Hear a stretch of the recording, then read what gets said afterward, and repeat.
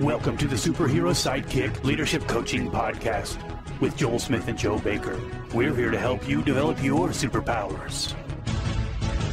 This is the Superhero Sidekick Coaching Podcast. I'm Joel Smith. I'm Joe Baker. We're not here to be the superhero. We just want to be your sidekick and help you along in building your business, building your not for profit. Let's help you grow it fast and really scale.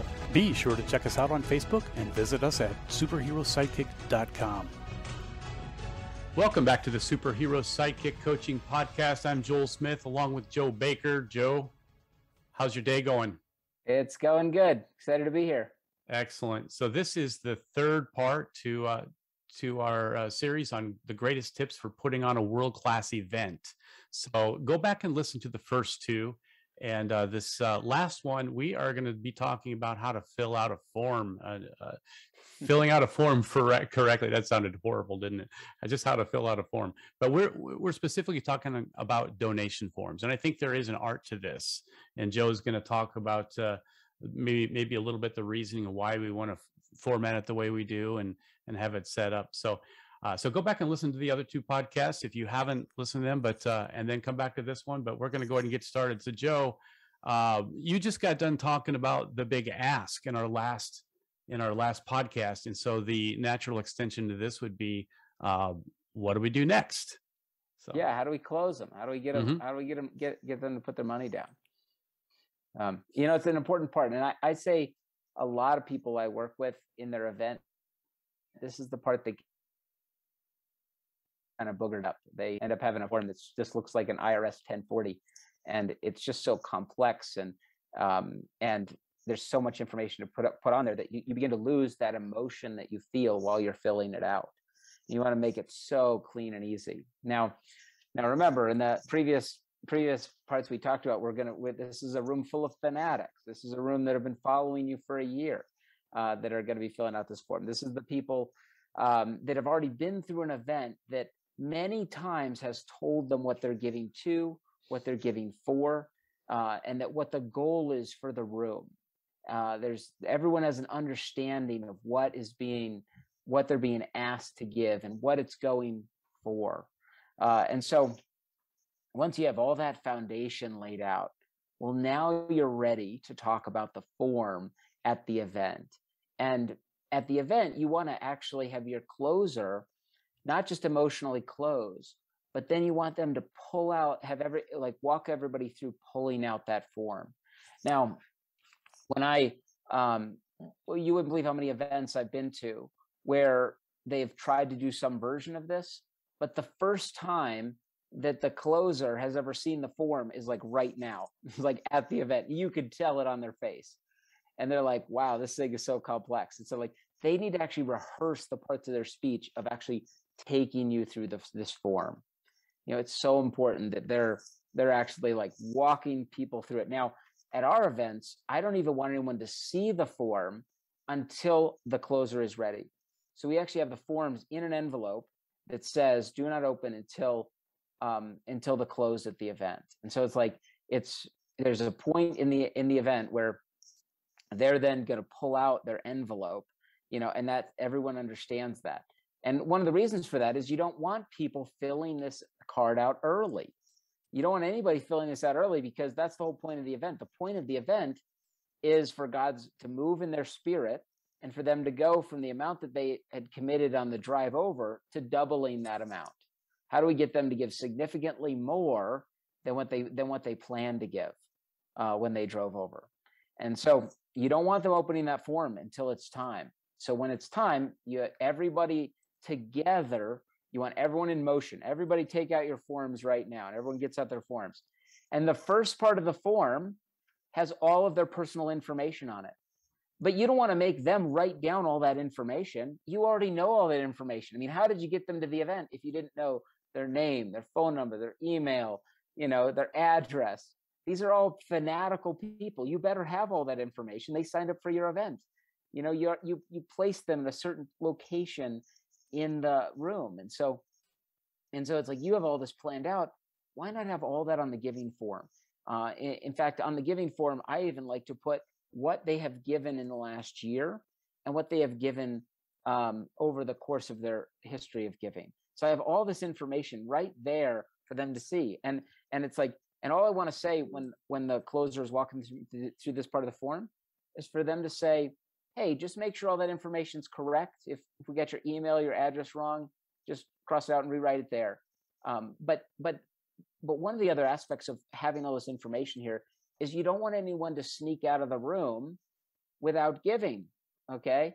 And if the form is blank and someone leaves a blank form on a table, okay, you have no idea who left it. But who's going to leave a form on the table with all their information on it and all of this, you know, if, they, if they're going to hand this thing in. And so it's like, it's already loaded. You don't want to lose that. You don't want that to be on the floor and you don't want to hand it in without it anything written of what you're going to give. Mm. And so it's really important that the form is previously filled out before um, before anybody gets there. Yeah. Now, Joe, how would that relate to uh, like filling out a form electronically or digitally? I just went to a fundraising event uh, just a, a, while back where we were, eh, you know, encouraged on our cell phone just to go to a quick website or to scan a QR code on the table, and then we went there and boom, it was right there. Simple. You fill this stuff out, boom, and you're done. Um, where, what kind of a place is that? Uh, yes, so that this is a, there are these other concepts, these digital concepts. Um, I would be very careful with the way that I I want to do these events to let mm-hmm. anyone pull out their phone. You know, this is my my philosophy on it. Um, I've been to events where they've used this. I've I've seen it done well. I've seen it see, seen seen it done poorly. Either way, it has the same issue. And the issue is is that when you when you go with the tech form, and I I like tech everything. I mean, I like if it makes my life easier, like I want to make it tech. Um, but the problem is, is our phones now are this are this gateway to all sorts of access to us, and you just carried them into this very emotional place, and you're like, everybody now get out your your phone, and then bam, I say, oh look at that, I missed five text messages, two emails, and three calls. You know what I mean? It's like, and, and I got to check up like, on the score of the game, right? yeah, and the game, and it's like suddenly you've just given them a portal where they can then quick, oh, maybe I, I, better quick respond to that. You know, I think the, the kid's throwing up, you know, or something like that. Like you, you have just, you could really lose people with that. And so I'm scared sure. of phones when it comes to giving. Right, um, fair enough. Um, on top of that, if they do have to scan a QR code, what you're saying is, is that they have to actually load in that information. They have to put in their name, their phone number, their address, all that information. All of that is is like you know kind of leading people to say, you know what, I just want to be. If they want to be present, they might just say, you know, I'll just fill this out after the event. Mm-hmm. You know, it's like you could actually lose people in that process. And and when you hear my process, there's another problem with the digital concept as well. Um, but I like old fashioned paper, and I want them to just see that it's all there. Okay, that's step one. That's the first part of the form. Mm-hmm. The second part of the form is the menu. These are the big three items that you mm-hmm. want some people in the room. And it's good to like, you know, if you're trying to raise like, you know, $2 million, you should have an item on there for, you know, probably 250,000, another item for a 100,000, and another item for like 50,000, where you have a few items that someone could just grab that item that you've talked about like i want to launch a stork bus or i want to fund the uh, or or or if the whole thing is you just, you just want to raise the money for a stork bus maybe it's you know i want to fund the wrap i want to fund the sonogram or i want to fund you know the sonographer for a year it's like there's three like options where your big donors can kind of grab those i mean that's they're emotional they're exciting for them and that way they also get to have a choice in the matter too. They're not just having one item, take it or leave it. They're they're they get to use their own creativity and maybe their own convictions to direct it towards something kind of like in church where you can give to different funds in a church and feel like you have that freedom i like yep. that yep yep so the so the so the remember the closer is walking them through the form they walk them through the first part walk them through the menu then the third part is now not a menu but some but some one-time giving and so what I like to do is I like to try to figure out what is the average of what the room can give. And then I like to make that like that either the um the lowest amount to give or go one tier below that. if I find out that the average in the room is like $5,000, I don't want to have the lowest gift at like, you know, $250. You know what I mean? I want the lowest gift to be either 5,000 or maybe, you know, to, uh, 3,000 or something like that. Like I don't want, I want to lay out the tiers of giving. And usually it's good to have like, you know, five tiers, something like that, five different options. But the, but the lowest one shouldn't go all the way down to like a hundred dollars.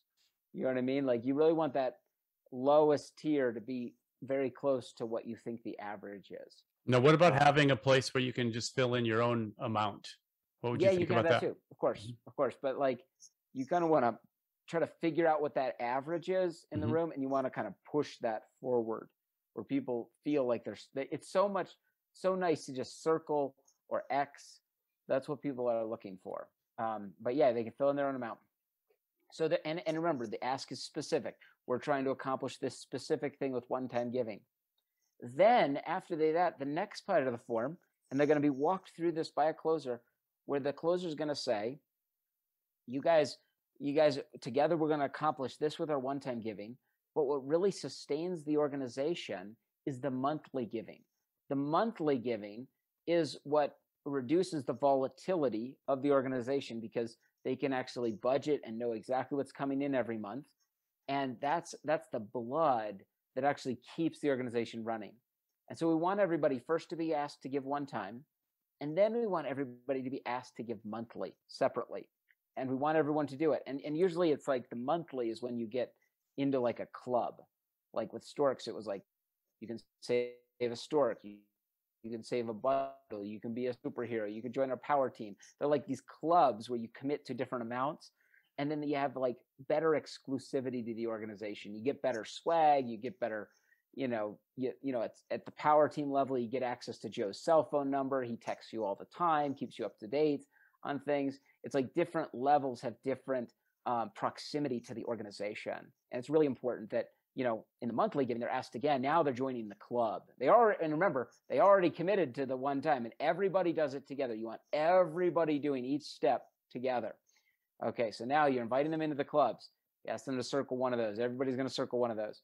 Okay, and then the last part of the form is how are they going to pay? You want to you want to articulate the easiest, best way for them to pay. Um, the best way for them to pay, as far as the organization should be concerned, is all you need to do is sign the bottom, and then void a check and put it into the envelope. That's it. That's all they have to do. Sign the bottom bottom of the form and then sign a voided check and put it in there. And and they they check a box that allows you to debit that that check. If you can get that check, that uh, if you can get their checkbook to be the monthly amount instead of a credit card, that they will likely never come off. That's first off. Second of all, you won't have to pay all the fees that you have to pay with credit cards. You know, every month you know if you have hundreds of thousands of dollars of donations coming in every month that's you have thousands and thousands of dollars of fees that that are racked up. But in addition to that credit cards expire credit cards sometimes get stolen and people cancel them. And Mhm. now as soon as that happens your organization is now in the business of collecting. And you don't want to be in collections you you want to be in mission right? And so you need to get that check and you need to convince the people hey we don't want to spend we don't want a bunch of money going to fees. You know give us the best easiest way to do this is just to give us that voided check. But if you don't want to do that feel free to put in your credit card information. And and basically they they put in that and then sometimes i like on a form a little section at the bottom where they can write you a note. That's it. That's Mm. it and you know one other thing that happens when you when you get them to put that voided check in there if you're if if you have the right kind of um, processor there's certain processors that you can get where you can actually maintain that information and if you ask them to give again throughout the year you can debit that right then and there and they don't have to put all that information in again. You know one of the reasons i use amazon you know is sometimes i'll find a product for a few dollars cheaper online and I'll say, you know what? It's such a pain to go in there and load in my information, my name, my address and phone number, my email, set up an account. It's like, ah, I'm gonna go on Amazon and click, click, done. You know, Mm-hmm. and and it's like that's how our giving needs to become, and that's the future of giving. And so, if you design the form right and you get the permission to do that, and and the voided check, which proves that you have that for the bank, then you get um, you know you get that access to make that one click giving when you call them up and ask them again uh, that giving. So what do we do with all of these things? We've walked them through the form okay? Now we have to collect these forms okay? And so what you want to do is you want to get you want to show like some motion in the room some energy in the room. And so i always like to announce to the room what what we raised. If if you are able to hit a goal you should have people just going nuts and and you should really know that you can hit the goal if you're going for it. Like you should ask some people in advance get some feels for how what people are thinking about giving. You know you should know about what you're going to hit. Um, and so you want to first of all you want to have motion in the room. So what i do is i have i have everybody write on the outside of the envelope. I say take the amount you're giving monthly and multiply it by 12 and then add that to the one time giving and I want you to write that number on the outside of the envelope in the top corner. Put your donation form in the envelope. Now, I'd like the men in the room to all come up and hand those envelopes to me or someone on my board. And so the whole room is now moving. You have this motion in the room. And it's like this, you know, I'm not I'm not saying peer pressure in a bad way, but there's just this energy in the room that's just coming forward. It's like an altar call. Yes, it's just like an it feels like an altar call. It's like it's like the sacrifice of the room. And the people that are giving big, they love this. They love this. The people that were planning on just getting a free meal, they don't like this. So they're the if you get any complaints, it's those people. It's not the people that are giving big, that love giving. because they got to write the 25 bucks in the corner and walk up Yeah. there and put their thumb over it so no one sees it. Exactly, exactly. So all the envelopes come up. They all have a total on them. And then you have a team that's kind of running those out the door. And they need to run them out the door really quickly. And you need a team about six or eight people to do this very quickly. And they're just going to start adding those numbers up. And you usually have like one group adding like three at a time and then handing them to people with calculators that like are adding. And so like if you if you if you have a process that you've practiced, you can very efficiently run all of that stuff in a few minutes. Mm. and then you want to run that number out to the closer who's gonna like and and it should run out to the closer like a couple times like hey we, if, if if we're trying to get to 2 million hey we just got to 1 million. Hey we just got to 1.5 million. And like and like you could feel the room picking up the lights are changing the um the audio is getting louder and more exciting. Like there's music coming and then when you hit your number you just like it's celebrate time it's like spray the champagne you know confetti whatever it is like let's just party you know is what's going to happen.